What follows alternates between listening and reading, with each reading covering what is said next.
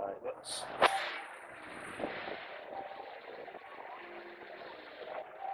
Right, here we are. We're at Doncaster Dome and I've just caught up with uh, Josh Hill on a little bit of a trip back from Thailand. How's it going, pal? Yeah, it's going good. Good to be back.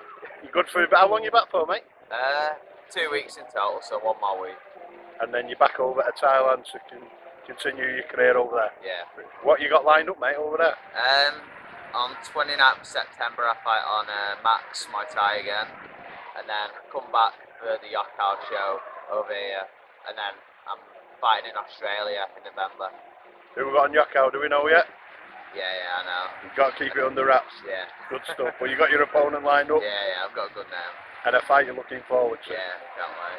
Right, let's go back to the start of things, mate. Where did you start and what was your early junior career like?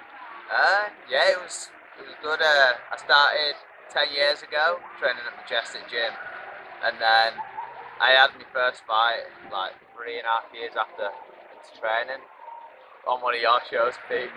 That's not too. Always good to give the uh, the Super Show a shout, mate. Yeah, I had my first two fights in the same day against George Jarvis and Stuart Stabler. So Well, they're not bad. Looking back on that, you know there was some matches, weren't there, in the early days, yeah.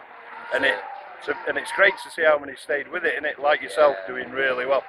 Yeah, and then just progress through there. Right, so then let's just move on to the adult ranks. Um, you transition from non-head contact to head contact fights, and what's your journey been like? Let's say up to starting on Yokkao. Yeah, it was good. I, I think I only had like four or five junior fights, so I didn't really have that many. And then I think now I've had about 45 head contact. So and it's gone well. yeah, it's gone alright. What was um, what was the lead up like when you first got the call to find out about Yokkao? Yeah, it was, it was a bit of a weird one because I was good mates with my opponent called Isaac Taylor. Uh, we went to Thailand together training, and we was over there when we got the message to fight each other. And yeah, we both took it and came back and fought. And how many fights have you had on your Yokkao now, Josh? four, I've had four on you. Yeah, And then five. time. Five coming up in Yeah, yeah. October.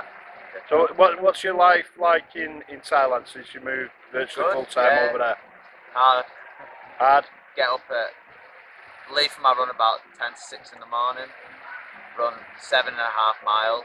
Come back, and then we train till about eight thirty nine, and then from three o'clock till six training again. And you're enjoying it? Yeah, loving it. you, have done amazingly well, mate, and to be honest, all the UK's behind you. Yeah. You get good figures on when you're fighting. Um, I'd just like to thank you for this little interview and, and, just to let you know, mate, that we're all backing you. Aye, thank you. Thank you very much, mate. Aye, thanks, mate.